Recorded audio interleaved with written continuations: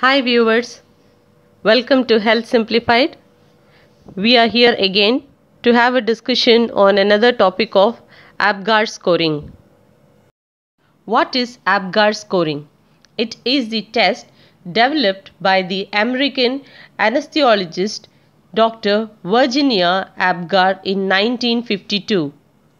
It is the first test that is done on the newborn babies. It is nothing but the overall assessment of the newborn in a quick and an easy manner. It is usually done immediately after birth, 5 minutes after birth for normal infants if there is no other complications. APGAR scoring rates 5 vital areas which are very important for the newborn assessment immediately after birth. When is this APGAR scoring done? The test is usually done immediately after birth and repeated after 5 minutes for all newborns. In case of difficult resuscitation, it can be repeated at 10, 15 and 20 minutes.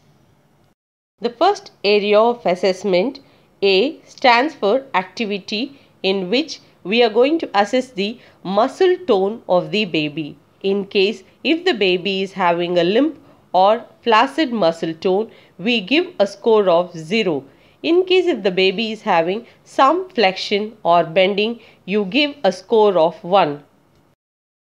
And if the baby is having active movements, you give a score of 2. The next area of assessment P stands for pulse or the heartbeat. If there is absent heartbeat, you score 0. If there is slow heartbeat which is less than 100, you give a score of 1 and if there is adequate heartbeat which is more than 100, you give a score of 2. Now let us go to the third area of assessment G which stands for grimace or reflexes. If there is no newborn reflex, you score 0 for the newborn and if there is a facial expression, you score 1 and if there is a vigorous cry from the baby, you give a score of 2. Now let's go to the fourth area of assessment A which stands for appearance. If the baby is pale or blue in color, you give a score of 0. In case if the baby is acrocyanosed baby that is body pink and blue extremities are present you give a scoring of 1 and in case the baby's body is full pink in color you give a scoring of 2. Final area of assessment in APGAR scoring is R which stands for respiration. If there is no breathing for the newborn, you give a scoring of 0. If there is weak cry and irregular breathing, you give a score of 1. If the baby is having a strong cry, you give a scoring of 2. How is the final scoring of APGAR done? A score of 10 indicates the baby is adequately fine at the time of birth.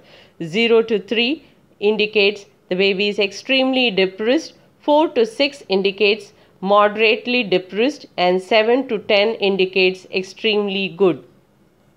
Newborns who have low APGAR score and umbilical cord pH less than 7 predict there is a neonatal death. An APGAR score of 0 to 3 is very very rare but is a very good indicator of neonatal death. The presence of both variables increases the risk of neonatal death in both term and preterm babies. Infants who fail to initiate respiration should be resuscitated and should be under close monitoring. A persistent low APGAR score indicates fetal distress but in some cases may be due to prematurity and sometimes due to the use of huge amounts of drugs during the intranatal period. A persistent low APGAR of more than 20 minutes indicate a high level of morbidities or mortality in the newborn baby. There are limitations for APGAR scoring as it is an easy and a quick assessment it does not indicate the long-term problems of the baby. Hope this was an informative and useful video. Thanks for watching and subscribe for more videos.